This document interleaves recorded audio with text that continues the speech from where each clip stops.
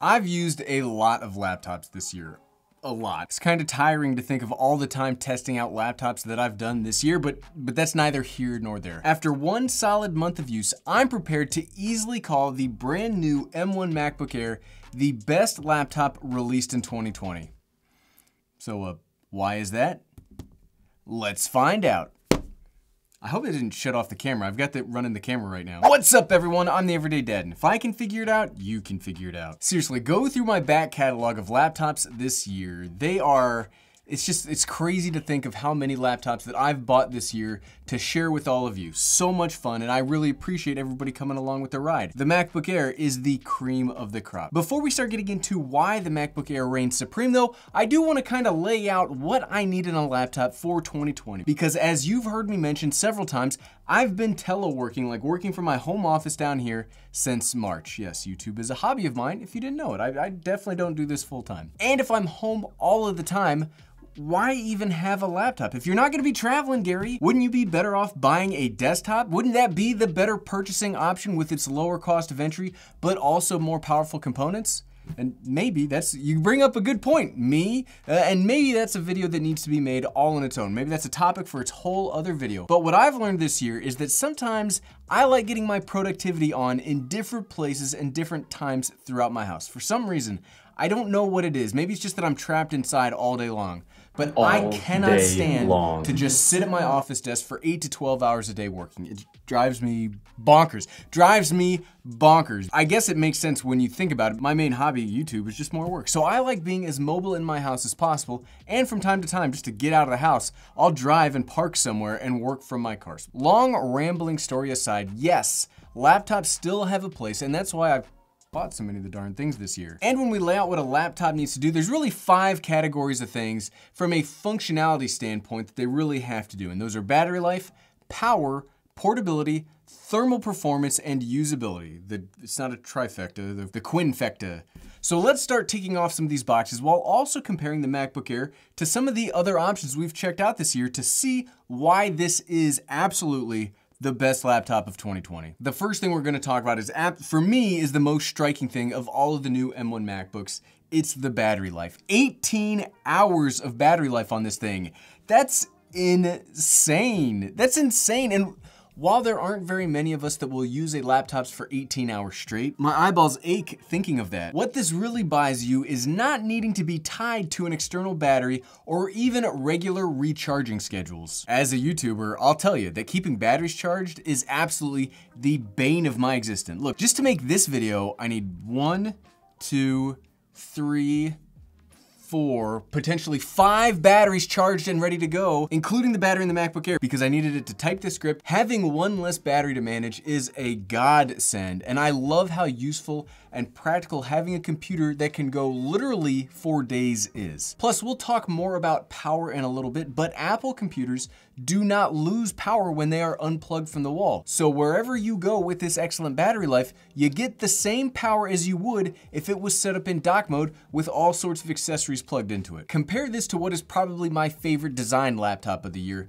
the Dell XPS 15. It technically does have a bigger battery, and yes, it is a much bigger laptop. However, this will only net you around 12 hours of battery life, more or less. It depends on what configuration you get, because the base model has a substantially smaller battery than the higher end options. And it is. It's kind of unfair to say that the XPS has bad battery life, because it doesn't. It's a fantastic laptop in its own right that was really close to winning my laptop of the year nod until this came out. It has fantastic battery life. It's just when compared against this, it's not the same. And a negative when it comes to a Windows laptop is when it's unplugged from the wall, you will experience a performance hit that gets worse over time as the battery drains. Sure, the MacBook Air lasts forever, Gary, but if it can't get work done, you might as well carry around a regular old notebook.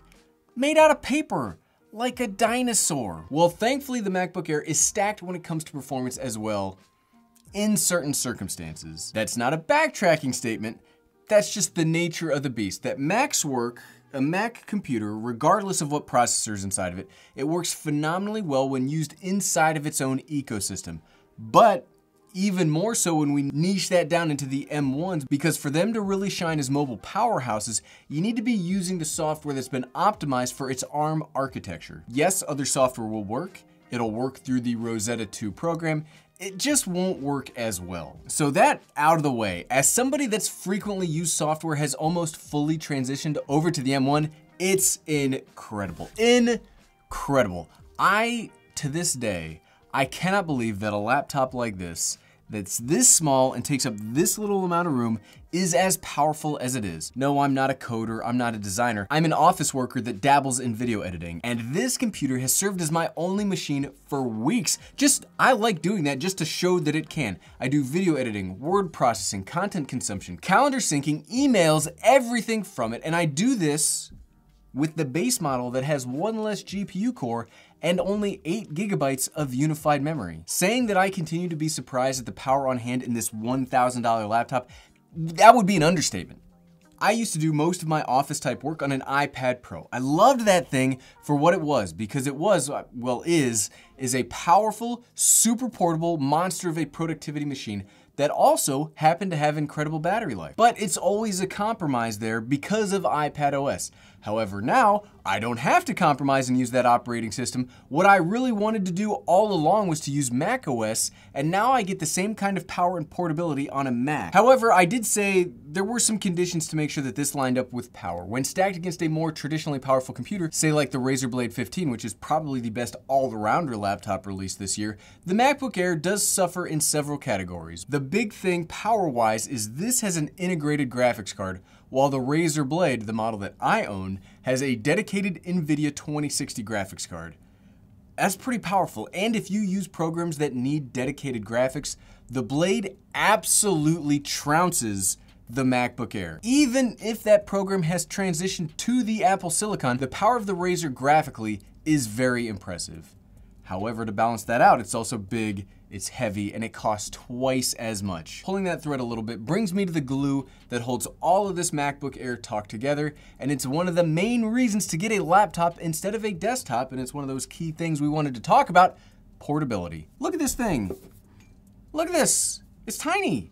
It's plugged into the camera, that's why there's a cable. It's a 13 inch laptop that weighs almost nothing. When compared to that iPad, yes, it's slightly heavier, but holding them both in hand, or if it was in a backpack, you'd never be able to tell the heft difference. I, there just really isn't that much else to compare the MacBook Air 2 for portability because it ties all of the three previous categories together. It has the power, it has the battery life, so you could carry this anywhere and get actual work done unlike some other Ultrabooks out there. The next category we're gonna talk about is thermal performance, so we're not gonna dwell on that here, but no one is even gonna know that you've got a computer that's doing as much work as this thing can do because it doesn't have a fan and it makes no noise. Okay, if you do have something going through the speakers, then it makes noise. I know one, I just, I know one sarcastic person would say that in the comments if we didn't bring it up. I'm bringing it up now. Yes, obviously it makes noise if you're using the speakers. One of the things that all of the other laptops from this year do that drive me nuts well, except the other M1 MacBook, is the second you put them under stress, they make a ton of fan noise. And that will either drive you nuts, or if you work in a house that has your family in it and you've all been stuck together for months, it will drive them nuts subtlety in our technology is very desirable when we are all trapped together in the same house since March.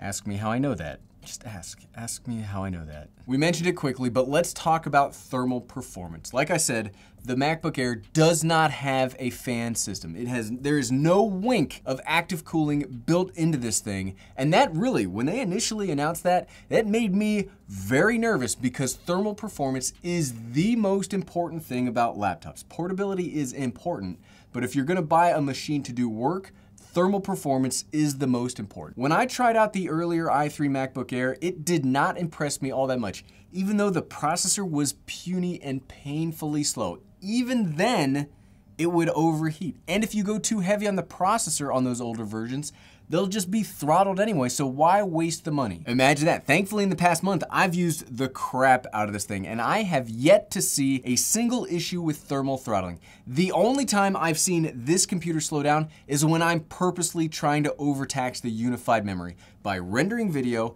having lots of Safari tabs open, chatting on Telegram, and listening to music. When I'm trying to do more than a computer should probably do at one time, then I can get it to slow down. And it was only temporary because when I closed some of those excess tabs, the problem went away. and it was memory, not heat. I bring up the thermal log often and I haven't yet seen a heating issue crop up, which combined with that battery life, it still just leaves me flabbergasted. Still just leaves me flabbergasted. Compare this to something like the i5 MacBook Pro 13 from 2020 that I was so happy with back in April. While I never had a big issue with its thermal performance, it would have throttling from time to time that I could measure through that thermal log command in the terminal. It never dropped core counts on me because it was decently thermally managed, but the fans would kick on and I would see a clock speed decrease when doing heavy lifts like video editing or video rendering. Which brings me to the final big topic, usability. And okay, this is the one thing, if I had to give the MacBook Air one weakness, it would be in the usability category. Not due to its keyboard, which is my favorite laptop keyboard on the market and easily the best one of this year, not because of its beautiful retina panel display that has P3 color accuracy and goes up to 400 nits of brightness, and it's not because of its software stability because Big Sur on the M1 chip